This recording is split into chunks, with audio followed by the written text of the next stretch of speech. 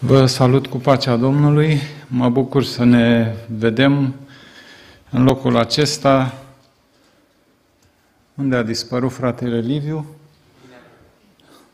Sunt aici datorită fratele Liviu Barbălată, a intrat pe la noi un pic, i-am dat o Biblie pentru cineva și mi-a spus că vine la Bucov. Și atunci am zis, mergem și noi.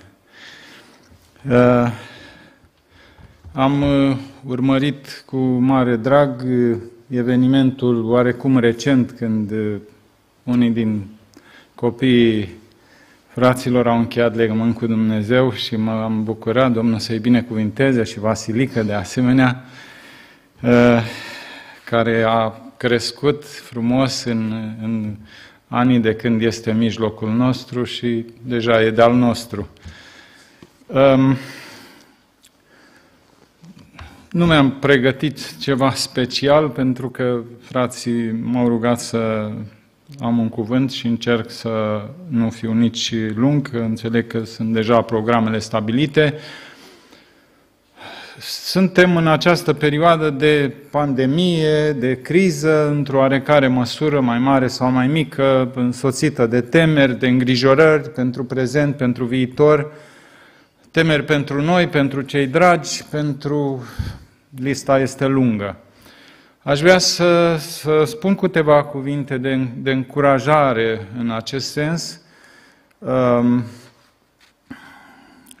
poate că este perioada când ar trebui, asemenea lui Pavel, uh, care spune în uh, ultimul capitol din Filipeni, m-am deprins să fiu mulțumit cu starea în care mă găsesc. Deci să, să deprindem acest spirit de mulțumire, acest spirit să ne educăm pe noi înșine uneori uh, și să fim mulțumiți cu ceea ce Dumnezeu ne dă astăzi, răscolind prin arhive, poate știți că s-a dat acum o lege pentru copiii foștilor deținuți politici, și am găsit niște documente pe acolo a unora condamnați la câte 25 de ani și mi-aduc aminte că am avut un unchi care prin anii 40 a fost condamnat, a fost făcut doar vreo patru ani, dar a trăit cu gândul ăla, cu sentimentul ăla, patru ani și ceva, că o să ai 25 de făcut. Și când l-am întrebat, cum e să trăiești cu sentimentul ăla? Mi-a spus așa, ne-am educat să nu ne gândim decât la ziua de astăzi și să ne încredem în Domnul pentru ziua de mâine. Um, ce să zic, personal, în, în anul acesta am avut multe experiențe, eu mai mă ocup și cu albinele, a fost un an dificil, uh, dar Uneori, așa, în momente de răscruce, Dumnezeu intervenea într-un mod minunat, așa încât uh, nu aș vrea să o spun ca o laudă, ci ca o dovadă a purtării de grijă a lui Dumnezeu. Pentru mine a fost cel mai binecuvântat an de când am albinele și cel mai productiv. Uh, deci Dumnezeu se va îngriji de copiii săi. Și în același timp, cum spuneam, ar trebui să ne deprindem cu, cu acel spirit mulțumit și mulțumitor și uh, poate uneori să mai renunțăm la necesitățile noastre reale sau poate închipuite. Um,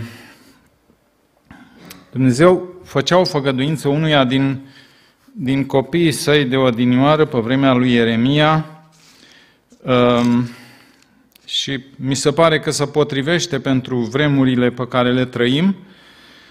Vorbea despre o vreme, uh, tu zici, vai de mine că Domnul a adus întristare peste durerea mea, îmi sliesc puterile suspinând și nu găsesc o dihnă.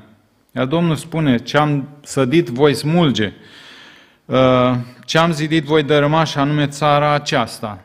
Știm că lumea noastră are timpul numărat, nu stabilim noi niște vremi, dar simțim că trăim uh, zilele din urmă.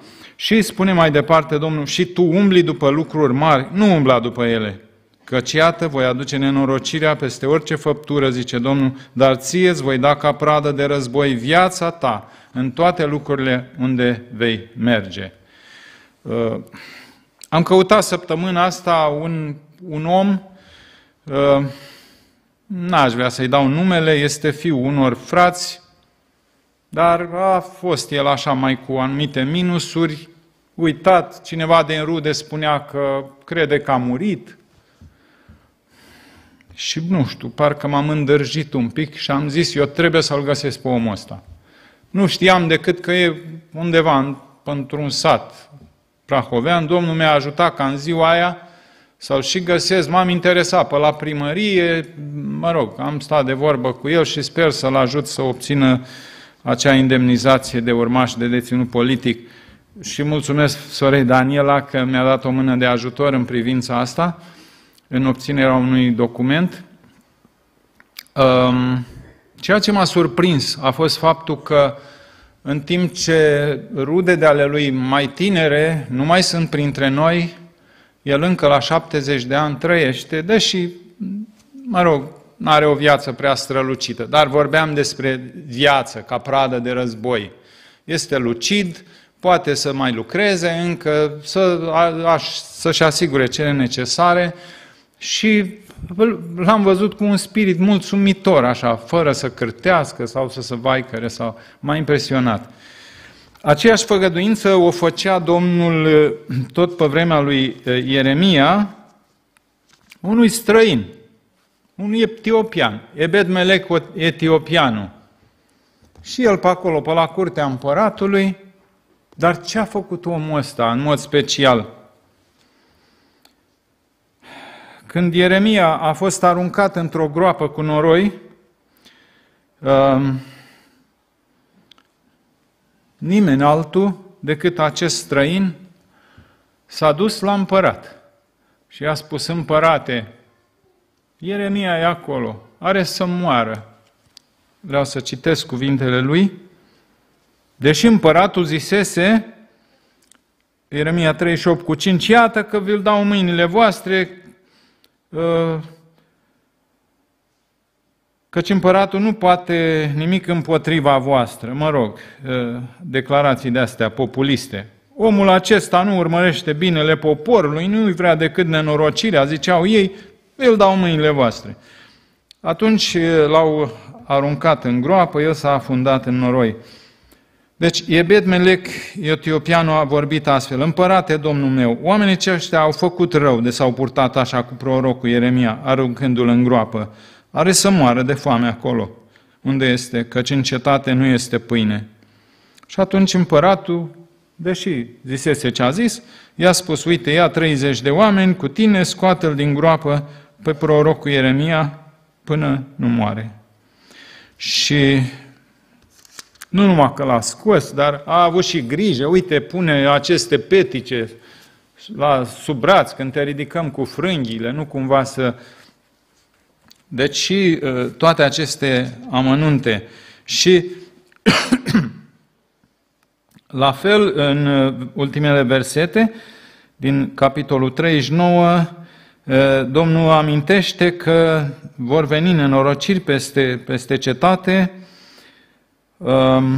dar pe tine te voi izbăvi în ziua aceea, zice Domnul, și nu vei fi dat în mâinile oamenilor de care te temi. Te voi scăpa și nu vei cădea sub sabie, ci viața îți va fi pradă ta de război pentru că ai avut încredere în mine, zice Domnul.